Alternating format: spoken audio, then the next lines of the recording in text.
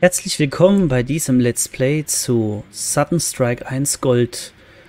Wir werden die alliierte Kampagne spielen, die leichteste der Originalkampagnen, vor denen ich großen Respekt habe, weil das Spiel damals durchaus eine Besonderheit war. Für jene, die es nicht kennen, ganz kurz, wie man hier unschwer erkennen kann, weil das jetzt hier die Deutschen sind und nicht die Amerikaner bzw. Alliierten, handelt es sich um ein Echtzeitstrategiespiel, dessen besonderer Twist ist, dass man nicht Einheiten baut, sondern mit dem klarkommen muss, was man von Anfang an hat.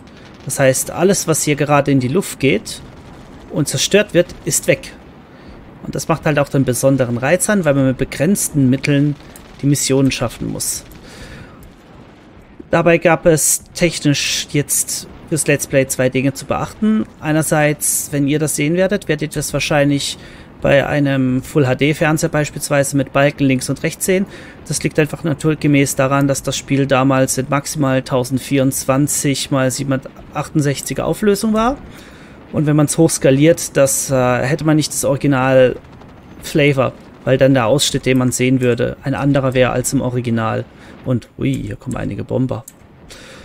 Und zweitens, in den Menüs des Spiels gibt es in der Steam-Variante einen Fehler, dass man erstens keinen Sound hat bei den Missionsbriefings, die ich dann einfach kurzerhand vorlese. Das geht höchstens 30 Sekunden.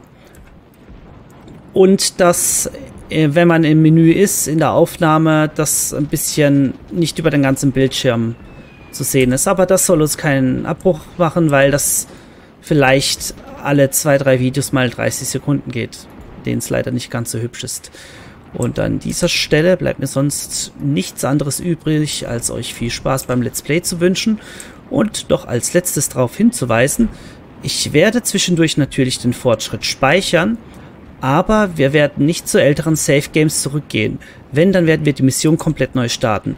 Das heißt, wenn das jetzt, das jetzt die Mission hier wäre, würde ich durchaus einsehen, hier jetzt zu speichern, einfach um den Fortschritt zu speichern oder weil ich einfach danach jetzt Pause machen möchte beim Let's Play, bevor es in der nächsten Folge weitergeht.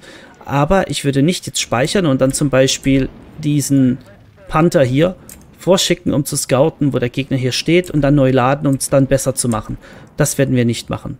Das heißt, jeder Verlust ist ein echter Verlust. Viel Freude beim Let's Play.